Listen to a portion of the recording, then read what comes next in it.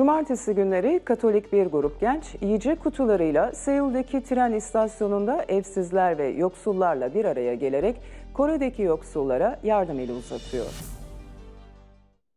Cumartesi günleri bir grup Katolik genç yiyecek kutularını taşıyarak Seul'deki tren istasyonunda evsizler ve yoksullarla bir araya geliyor. Milal olarak bilinen grup yanlarında yaklaşık 50 adet yiyecek kutusu taşıyor.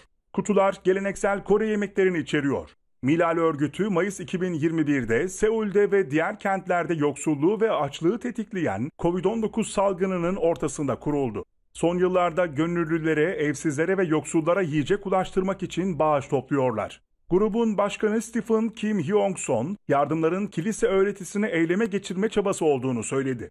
Milal'in yardım faaliyetleri sayesinde kilisede öğrendiğim öğretileri uygulayabilirim dedi. 5 gönüllüyle başlayan grup şimdi 35 kişiyle hizmete devam ediyor.